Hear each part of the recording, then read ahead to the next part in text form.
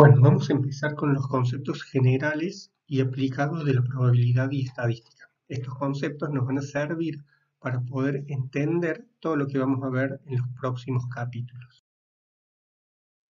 ¿Cuál es la relación entre la estadística y la probabilidad? ¿Por qué estudiamos juntos estas dos materias?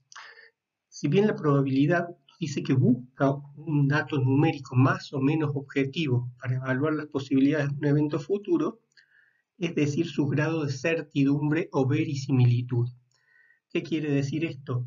Nos dice qué posibilidades hay de que un evento futuro se, dé o no se dé.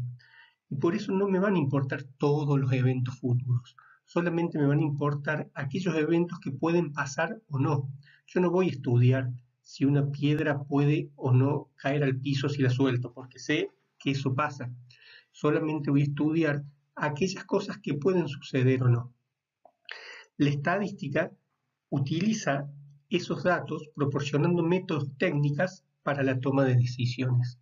¿Por qué nosotros la vemos juntas? Porque justamente vamos a utilizar los análisis de estadística para plantear probabilidad y vamos a analizar con los resultados obtenidos en la probabilidad valores que nos van a servir para hacer análisis estadísticos. Otro concepto que tenemos son los datos.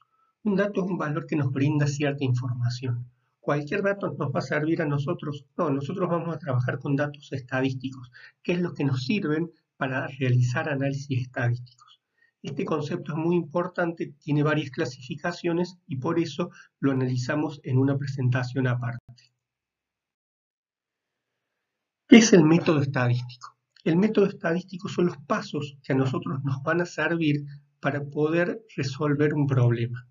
Obviamente que el primer paso va a ser poder formular ese problema. Una vez que tenemos el problema, vamos a diseñar el experimento o la investigación. ¿Por qué decimos experimento o investigación?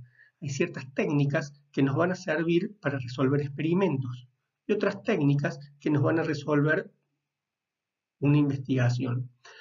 Nosotros, la mayoría de las técnicas que vamos a ver, las herramientas que vamos a ver, estadísticas y de probabilidad, son para cuando trabajamos con investigación. Nosotros vamos a tener datos de la realidad y de ahí vamos a tomar para poder sacar conclusiones. Sin embargo, hacia el fin de la materia, vamos a ver una técnica que es de diseño por experimento. ¿Por qué es importante entender la diferencia? Porque las técnicas que se usan en una, en la estadística experimental, no se utilizan cuando yo trabajo con investigación. Entonces tengo que entender la diferencia y tengo que entender que hay ciertas técnicas que se utilizan para uno y ciertas técnicas que se utilizan para otro. La recolección de datos, nosotros vamos a ver cómo vamos a tomar los datos, sea del experimento o de la realidad, para poder trabajar con ellos. Luego viene el procesamiento y análisis de datos, que es donde nosotros vamos a trabajar con todos los datos a través de las fórmulas y a través de las distintas herramientas para qué? Para llegar a sacar conclusiones en una generalización e inferencia final. La mayoría de ustedes siempre se va a hacer hincapié en lo que es el procesamiento y análisis de datos, tratando de aprenderse las fórmulas y eh, con ello resolver el problema. Pero tienen que tener en cuenta que la parte de formulación del problema y la parte de generalización e inferencia final son las más importantes. Yo tengo que poder plantear un problema y en base a ese problema obtener una solución. Población y muestra. ¿Qué es lo que me dice a mí que es una población y qué es lo que me dice a mí que es una muestra? Si yo digo que una población es un conjunto de los elementos que estamos estudiando, lo más importante cuando hablo de población es que me dice que es un conjunto de todos los elementos. Lo que a mí me va a definir una población o una muestra no es la cantidad, no es el tamaño. Si yo digo un curso dentro de la facultad puede ser una población o una muestra, lo que me lo va a definir es el objeto de estudio. Una muestra me dice que es una parte de la población que sirve para representarla. Y lo más importante acá es la parte que dice que sirve para representarla. no cualquier parte de una población es una muestra, tiene que ser representativa. ¿Cómo sabemos si la muestra es representativa o no de la población? Lo vamos a ir viendo en distintas eh, partes, una con las técnicas de cómo se obtiene la muestra y otra con la precisión que me va a dar o lo, qué tan representativa va a ser, depende del tamaño que va a tener esa muestra. Razones para el muestreo. ¿Por qué voy a trabajar con una muestra? Si yo trabajo con una población, voy a tener el resultado exacto. Si yo trabajo con una muestra, no voy a obtener el resultado exacto. Voy a obtener un resultado aproximado. Entonces, ¿por qué voy a trabajar con una muestra? Una razón es el costo. ¿Qué quiere decir el costo? Hay veces que yo no puedo trabajar con toda la población porque simplemente me sale muy caro y no tengo los recursos. Si no tengo los recursos, solo me queda trabajar con una muestra. Puede ser que yo tenga los recursos porque en realidad me sale muy barato. Si yo digo, bueno, a ver, quiero saber la altura promedio de toda la universidad, simplemente tengo que ir y estar midiendo a toda la gente. Pero si yo no puedo, no tengo tiempo para hacer todas esas mediciones en toda la gente de la facultad, solamente me va a quedar trabajar con una muestra. Y hay otra razón más para el muestreo. Puede ser que yo no tenga problemas de económicos, no tenga ningún apuro, pero sin embargo también tengo que trabajar con muestra. Y es cuando hago pruebas destructivas. Supongamos que yo tengo una fábrica de clavos y quiero saber qué tanto resisten estos clavos. Yo podría decir, bueno, los clavos me salen barato, no tengo ningún apuro. Pero si yo agarro un lote y pruebo en todos los clavos, lo que voy a obtener al final son un montón de clavos doblados y ninguna conclusión que me sirva para saber qué tan útiles me van a ser esos clavos. Entonces, cuando yo trabajo con prueba destructiva, la única forma que tengo que trabajar es a través de muestras.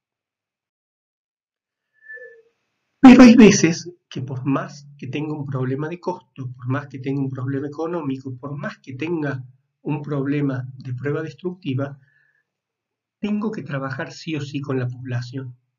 Si yo necesito una exactitud de los resultados que no puede, digamos, que tiene que ser completamente exacta, por ejemplo, si yo necesito darle un remedio a un grupo de personas según si tienen una enfermedad o no. Yo no puedo tomar una muestra y hacer una estimación de quién debe recibir el remedio o no sí o sí voy a necesitar saber quién lo tiene y quién no lo tiene. Sí o sí voy a tener que trabajar con la población. Otra razón para trabajar con la población es cuando yo necesito contar. Si yo necesito contar los elementos de la población, solo me queda trabajar con toda la población. Una vez que trabajo con la población, yo puedo tomar muestras para ver cuánto creció esa población y hacer ese tipo de estimaciones. Pero ustedes Fíjense lo que es un censo. Un censo es algo carísimo, donde lleva mucho tiempo analizar los resultados. Sin embargo, en todos los países del mundo se sigue haciendo. ¿Por qué? Porque la única forma de contar toda la población es teniendo un censo.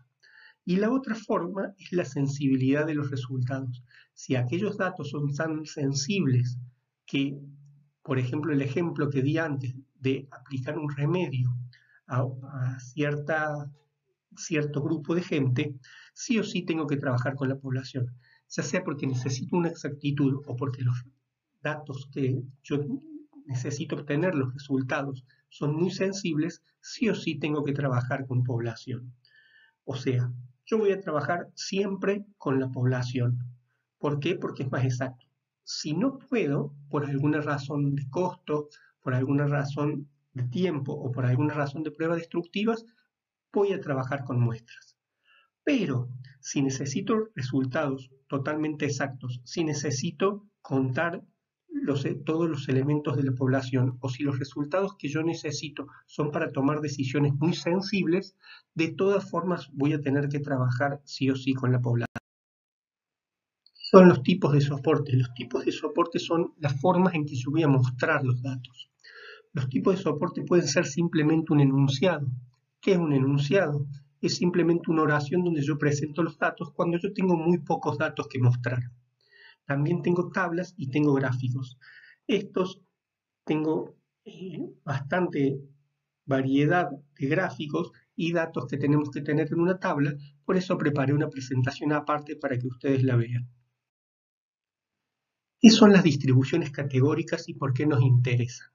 Las distribuciones categóricas son aquellas distribuciones de frecuencias que muestran un número o la proporción de observaciones que corresponde a cada una de las clases.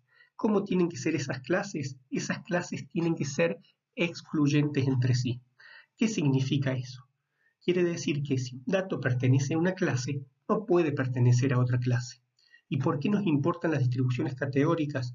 Básicamente porque si una distribución es categórica, sobre todo cuando es cualitativa, me permite a mí trabajar con análisis estadístico. Si una distribución no es categórica, no puedo hacer análisis estadísticos sobre esa distribución.